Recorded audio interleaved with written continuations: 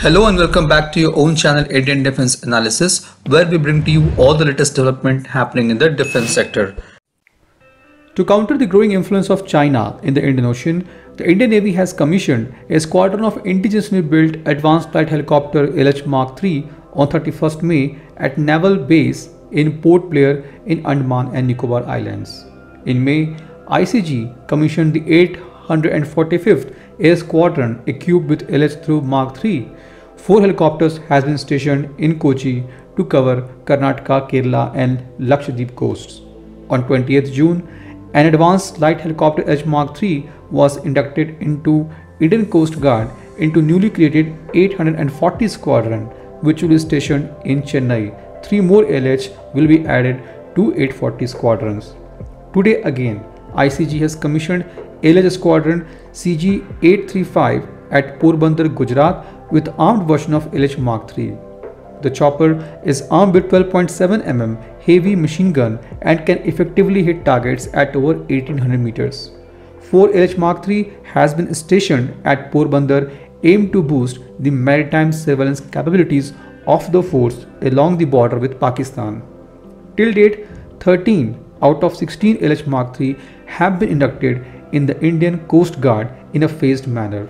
The whole process of the induction of ALH Mark III started from March 2017 when HAL had received an order for 32 ALH Mark III for Indian Navy and Indian Coast Guard to replace their aging fleet of helicopters with new improved version of ALH Dhruv Mark III.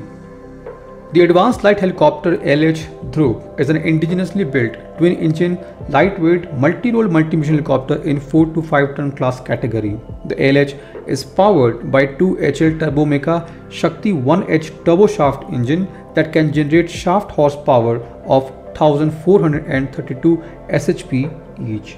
The aircraft is designed with extensive use of composite materials, crash-worthy bottom structure for skid and wheeled version. The helicopter can carry troops and can also be utilized in air ambulance role. The helicopter is capable of carrying external cargo of 1500 kg. The ALH Mark III is equipped with new Shakti 1H engine which has excellent high altitude performance at altitudes of above 6 km. It can accommodate 14 fully equipped troops. Dhruv can be utilized by Indian Coast Guard for variety of roles such as casualty evacuation, search and rescue, and coastal security. This was today's update. Please let us know what is your views about these in comment section. Feel free to post your comments and suggestions about any topic related to defense sector on which you want to hear from us. With this, I would like to say goodbye and Jai Hind friends. Please like and subscribe our video if you have not done already. We'll be soon back with more interesting and amazing development happening in defense sector.